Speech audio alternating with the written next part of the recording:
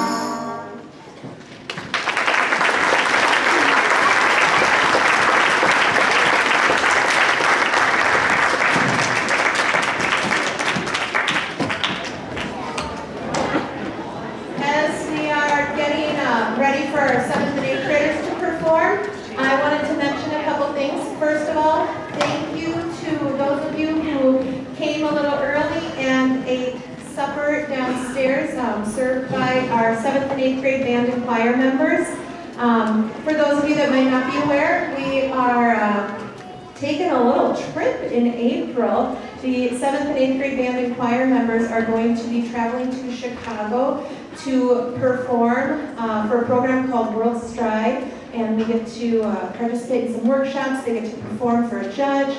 And we've been doing some fundraising and been feeling a lot of great support on our endeavors so far. Um, also, a lot of our band and choir members went around to local businesses and uh, we had some very generous sponsors.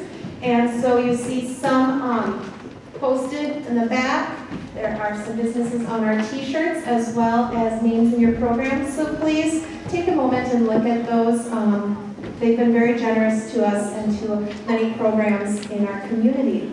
Um, so the uh, seventh and eighth grade choir, they're going to perform. Um, we're actually going to go with Dancing Na first. And we had some percussion. Well, they're not even like they don't play percussion in band. But uh, we thought they could handle it, and they've been doing a great job adding some percussion to Dancing Na while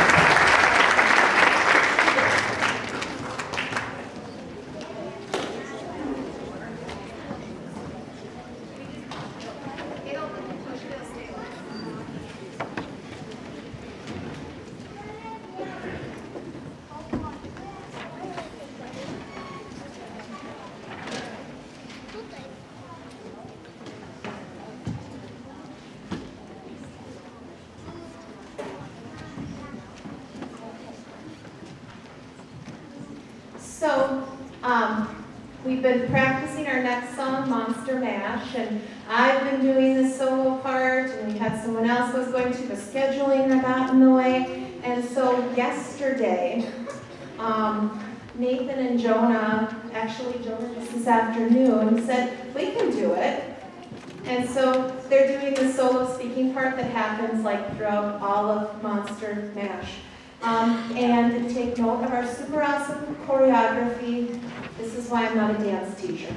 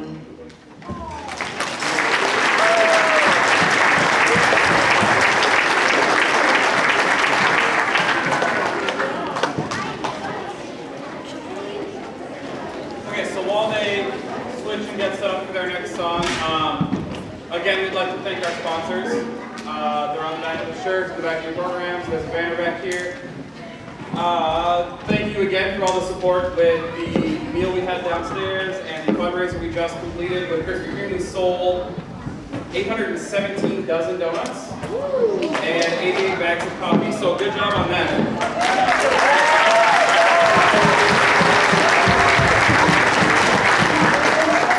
That being said, they're all in my classroom, and I would like them not to. It smells great, but I don't know if I can handle it. So if, after the concert, if your student ordered or, or did this fundraiser and has donuts, could you please drive around back and like four or five at a time, just come on in, um, and we'll power through as many as we can. I do have six or seven kids that'll be helping with it, so if, if your student is one of those, if they haven't told you, I'm sorry, if they did, great.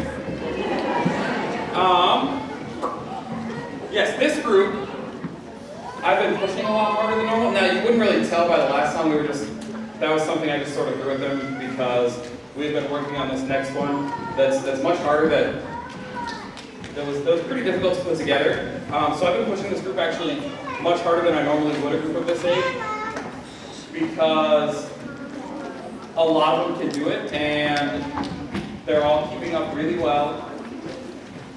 It's time to get better, right? Uh, thank you all again for coming. Uh, we appreciate everything you do to support us. And have a great night and a safe drive home.